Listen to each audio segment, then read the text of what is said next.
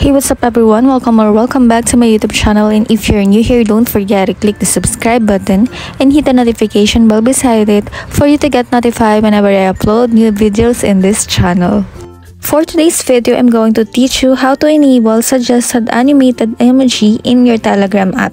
So if you're interested, just keep on watching. For the first step, open your Telegram app and in the right side, you'll see settings and click appearance and click stickers and emoji. Then makikita nyo dito yung emoji, click nyo yun and then here it comes, suggested animated emoji. Click nyo lang to para ma-enable siya. So nakalagay dito, each time you enter an emoji, you can replace it with an animated emoji.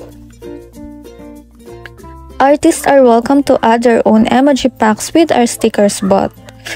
Press and hold a message to view and add the whole pack. So, ganun lang kasimple guys. That is it for today's video. Thank you for watching and don't forget to click subscribe.